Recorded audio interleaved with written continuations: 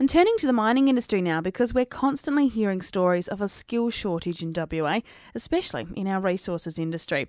But one company believes it's more about skills utilisation, and they're doing something about it. FIFO Bid's co director Mike Haywood says many employers accept jobs without knowing exactly what's involved, the location, and conditions on site. And he says this is causing a high turnover of staff in the resources industry. So he's started a recruitment company matchmaking staff with companies and then effectively auctioning them off, not to the highest bidder, but the best match. And he reckons it might be the recruitment of the future. FIFO Bids originally started uh, as an idea to try and solve the skills shortage basically in the resource industry. So we're working with labour hire groups, and one of the biggest issues was labour hire groups had no way of, I guess, improving their utilisation. They had a lot of people and staff, um, but they weren't always using them in the industry At the same time, we saw that you know a lot of resource companies had lots of vacancies across the board, and some vacancies have been open, you know, for 200 days, and trying to fill these positions was a real challenge for people. So, you know, we thought there must be a better way of matching companies to workers. It sounds like you're almost a, a bit of a matchmaking service. Can you tell us how it all works? We're trying to stop the churn, basically. So we're trying to better match workers with companies the worker creates their profile, and that profile is private to them. Okay, and they can grow that over time as they do more work and earn more qualifications and skills and certificates. They can put themselves in the market, and that's something different.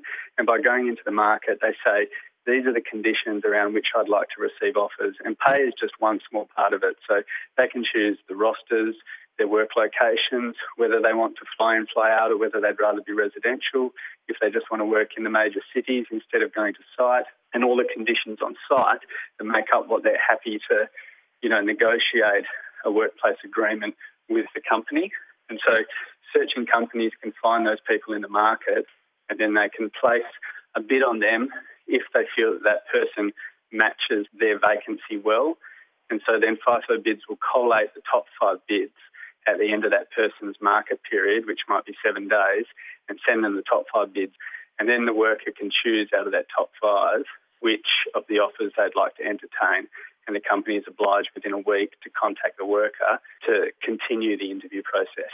What we're doing overnight is essentially if a company needs a worker, they can find them instantly. They can find a worker that they know actually wants to work under that company's conditions. So when they do invest in that worker and bring them on board, chances are they're going to be retained for a lot longer. Is this the first system of its kind auctioning off staff? I think it is, but it's not really auctioning off staff. It's auctioning off expressions of interest. Is this the recruitment of the future?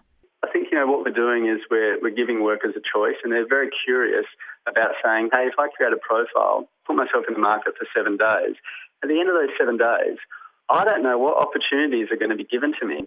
There's some concern that, that this kind of recruitment may falsely inflate the, the cost of, of labour.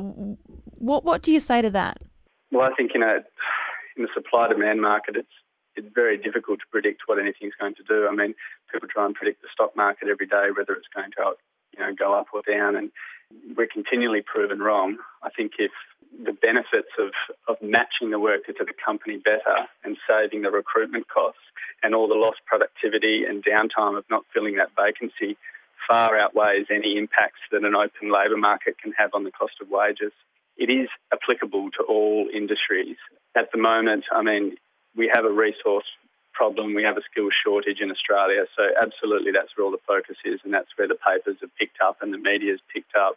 But at the end of the day, it's applicable to every single industry, whether you know whether you're a nurse or whether you're an IT technician or, or whether you're a chef or a cleaner or a cook.